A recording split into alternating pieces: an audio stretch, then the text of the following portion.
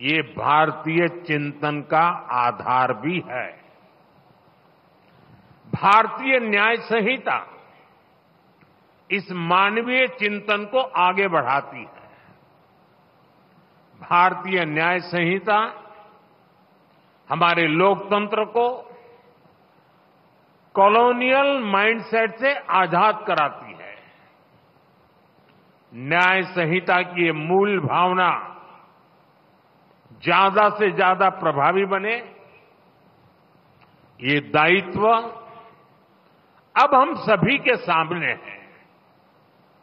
साथियों, बीते एक दशक में हमारा देश तेज़ी से बदला है।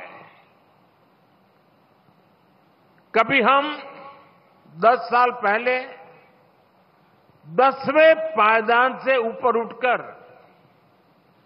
दुनिया की फिफ्थ लार्जेस्ट इकोनॉमी बन गए हैं।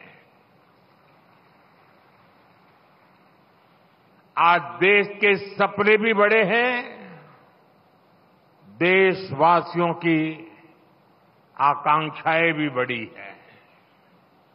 इसलिए ये ज़रूरी है कि हम नए भारत के हिसाब से नए इनोवेशन करें।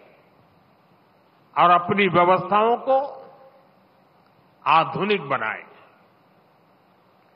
ये जस्टिस फॉर ऑल इसके लिए भी उतना ही ज़रूरी है।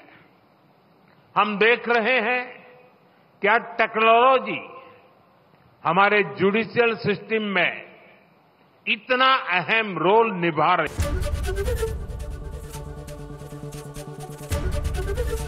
एबीपी गंगा खबर आपकी जुबा आपकी।